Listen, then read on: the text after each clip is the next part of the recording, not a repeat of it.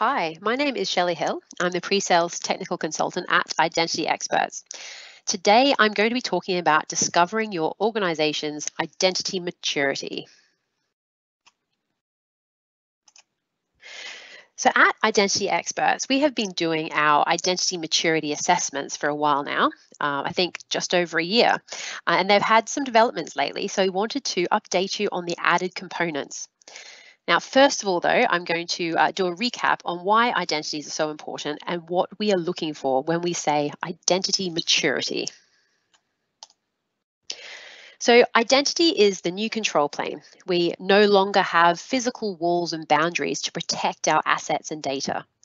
Users are accessing corporate emails or data on personal devices, uh, from home now more than anywhere else during these times because we're being told that we must self isolate. But even before that, we were seeing a work from anywhere culture develop.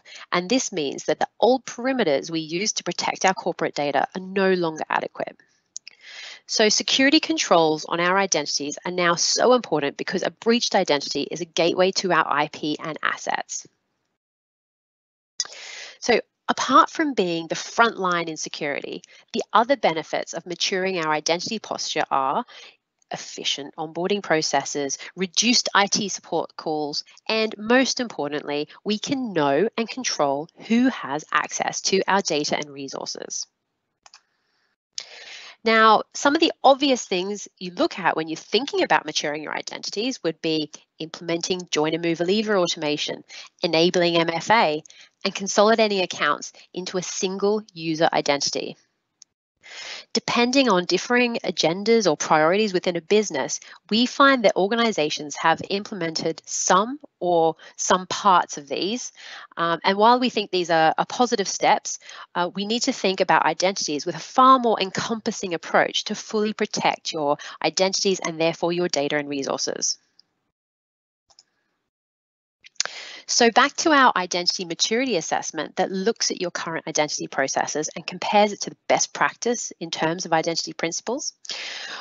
We look at uncovering areas of risk and improvement within your organization and your capability for balancing identity, security, and governance.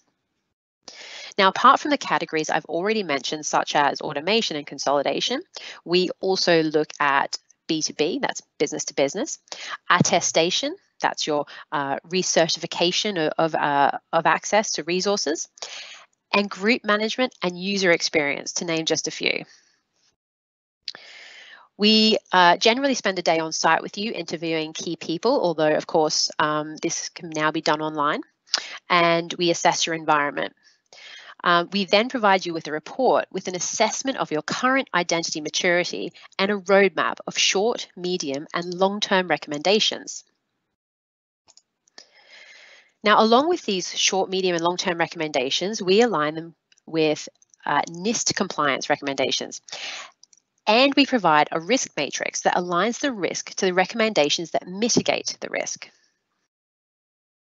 The other thing we now provide uh, for all these recommendations is to break them into work packages that can be grouped together, showing which ones are dependent on each other and which can be done in parallel. We have found this has been really useful for customers in terms of aligning strategic goals with an implementation plan.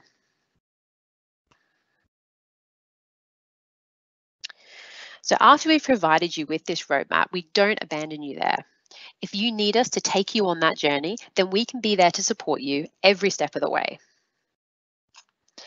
If you'd like to find out more, get in touch with us at Identity Experts. We'd be happy to take you on the first step in your journey to identity maturity and be the experts by your side.